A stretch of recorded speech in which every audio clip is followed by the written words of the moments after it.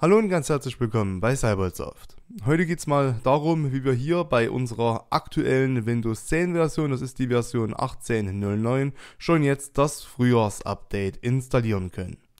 Die neue Windows-Version, das sogenannte Frühjahrs-Update, die Redstone 06 oder die Redstone 6-Version, die im März diesen Jahres rauskommt, die ist sicherlich für viele interessant, welche Neuerungen uns da erwarten. Und wer das Ganze schon jetzt hier installieren kann, das gibt's schon, deswegen ihr könnt das schon jetzt hier installieren. Wir gucken erstmal nach, was ich hier derzeit für eine Version installiert habe. Dazu rufen wir mal den WinWare-Dialog auf. Hier seht ihr es, das ist die Version 18.09, ist auch alles aktiviert und installiert, auch geupdatet voll. Und jetzt holen wir uns mal das Frühjahrsupdate, welches erst in ein paar Monaten rauskommt. Dazu brauchen wir hier diese Software UUP Dump Downloader. Die laden wir uns hier herunter. Einfach hier die Excel-Datei anklicken, das Ganze speichern. Jetzt die Datei auf den Desktop ziehen, rechte Maustaste auf die Datei auf Eigenschaften gehen, dann hier den Haken reinmachen bei Zulassen, übernehmen, okay. Jetzt können wir die ganz normal hier doppelt anklicken. Den Benutzerkonto-Steuerungsdialog hier bestätigen wir mit einem Klick auf Ja.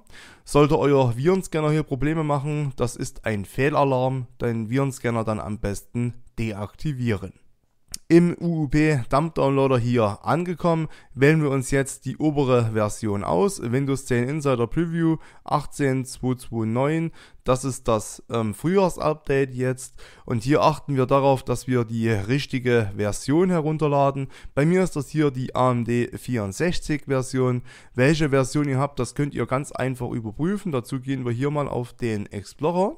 Dann rechte Maustaste auf dieser PC, dann auf Eigenschaften, und hier seht ihr jetzt bei mir 64-Bit Betriebssystem und wenn bei euch 64-Bit Betriebssystem steht, dann müsst ihr auch diese Version hier runterladen, AMD 64. Steht bei euch 32-Bit Betriebssystem, dann müsst ihr diese Version hier runterladen mit dem x86 dran. Ich nehme jetzt hier die obere Version, dann gehen wir hier unten drauf, ausgewählte Bild auswählen. Ich mache jetzt hier noch den Haken rein bei virtuelle Editions einschließen. Ja, das könnt ihr aber machen, wie ihr wollt. Ihr könnt auch hier eure Version direkt auswählen. Ich nehme jetzt hier mal alle Editions. Ähm, Speicherort soll bei mir der Desktop sein. Das steht hier unten. Ihr könnt auch natürlich auch einen anderen ähm, Speicherort hier definieren. Und wenn ihr alles eingestellt habt, dann geht ihr unten auf Prozess starten. Das dauert jetzt hier eine Weile. Wenn das Ganze fertig ist, dann sehen wir uns hier wieder. Nach dem Download haben wir hier jetzt das Frühjahrsupdate für Windows 10. Das ist jetzt die neue Version und diese Version, dieses ISO-Image hier, brauchen wir nur mit der rechten Maustaste anzuklicken. Dann gehen wir hier auf Bereitstellen. Dann wird das hier als virtuelles DVD-Laufwerk eingebunden, die ISO-Datei. Und hier haben wir nun unsere Setup.exe und die brauchen wir nur wieder doppelt anklicken den Benutzerkonto-Steuerungsdialog mit Ja bestätigen. Und jetzt beginnt hier schon der Windows Update Dialog. Ähm, wir können hier unten noch ähm, Microsoft dabei helfen, das Setup zu verbessern. Das lasse ich hier mal aus Datenschutzgründen weg. Und wir gehen hier unten einfach auf Weiter. Den Lizenzvertrag müssen wir natürlich hier akzeptieren. Zu guter Letzt gehen wir hier auf Installieren.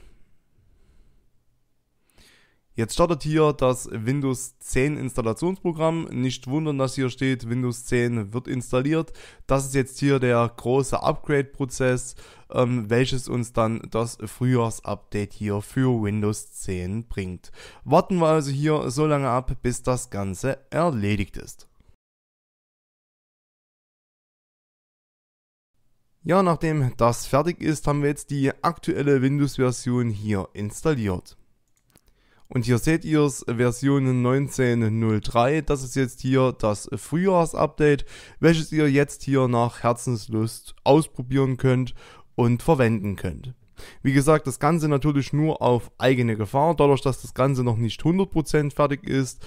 Aber wie ihr gerade im WinWare-Dialog gesehen habt, die Version hier hat kein Auslaufdatum. Also wir können schon stark davon ausgehen, dass diese Version oder eine, die kurz danach kommt, hier eine finale Version ist und dass das Frühjahrsupdate ist.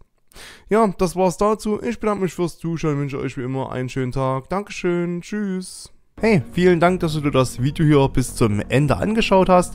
Wenn dir das Video gefallen hat, dann gib dem Video doch bitte einen Like oder unseren Kanal ein Abo.